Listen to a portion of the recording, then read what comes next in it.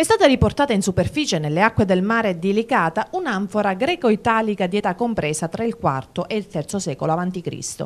Il rinvenimento subacqueo è stato reso possibile grazie all'ausilio della Sistar, l'imbarcazione della Lega Navale Italiana varata la scorsa settimana e grazie alle immersioni del gruppo subacqueo dell'Associazione Archeologica Finsiade. I sommozzatori del nucleo subacqueo del gruppo archeologico licatese che hanno partecipato alla scoperta sono Michele Ruggeri, Fabio Amato, Agostino Agostino Cantavenera e Giuseppe Cantavenera.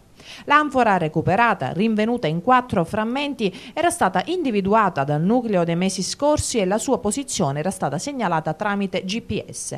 Attualmente si trova in custodia presso la tenenza navale della Guardia di Finanza sul molo di Marianello. Si tratta di un reperto utilizzato per il trasporto del vino ed è dello stesso tipo di quelli rinvenuti nelle vicinanze dei palmeti sulle colline licatesi. Il presidente della Finsiede, Fabio Amato, ha già provveduto ad avvisare il sovrintendente del mare, Sebastiano Tusa, a cui è stata inviata anche una relazione nella quale è specificato di voler esporre al Castel Sant'Angelo gli ultimi reperti rinvenuti utilizzando le vetrine dismesse del Museo della Badia.